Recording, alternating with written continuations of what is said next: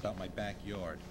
Um, my backyard is a mess, but I like it that way. It's the only place. Uh, it, uh, you know, I work as a technical writer in an electronics company, and everything is precision, precision, precision. Computers, precision, precision.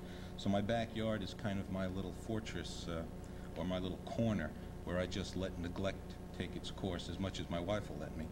Um, so I have this one little corner where I have an old wood pile that I never use. I just like to let it rot there, you know, and get all these nice fragrances and insects in there and everything. Uh, I don't use it because my wife won't let me bring real logs into the house. She says they're too messy, so I have to use these Dura logs, you know, which. um, it's called the corner, and you know, as a poet, uh, I'd like to think that uh, someday I might achieve kind of a combination of William Carlos Williams and uh, Jack Nicholson. So kind of keep that in mind. This is my spot. This corner of the yard overgrown with weeds near the woodpile and the compost heap. All summer long it smolders with a lyric rot, moldy wood stink I feel at home with. Where the cowish slugs graze in the moist decay and shy colonies of woodlice sleep in eternal peace under a weathered log. A joyful neglect, I make my small defense against the advanced barbarians of precision and order. And here in the afternoon, resting in an old lawn chair after gardening, I am lulled by the bleary, disorienting sun, the green bottleneck flies magnetized on and off the compost heap, the sweet smell of summer sweat under the brim of my pulled-down baseball cap.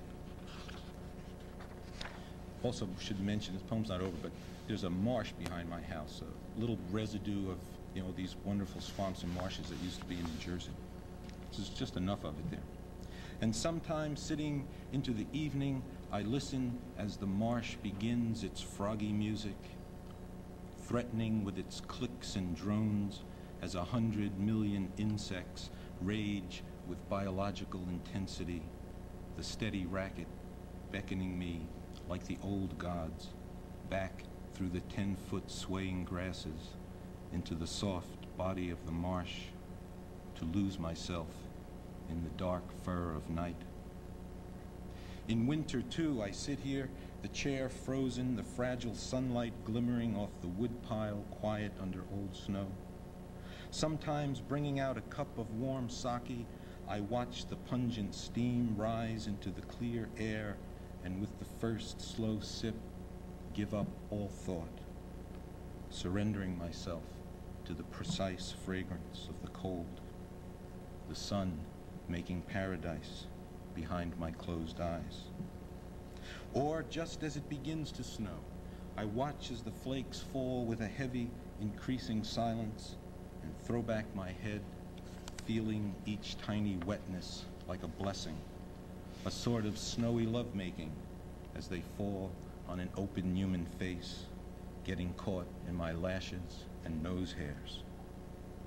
Tiny benedictions we only receive when we sit in the cold or the heat for its own sake, surrendered at last to bug and weed and weather.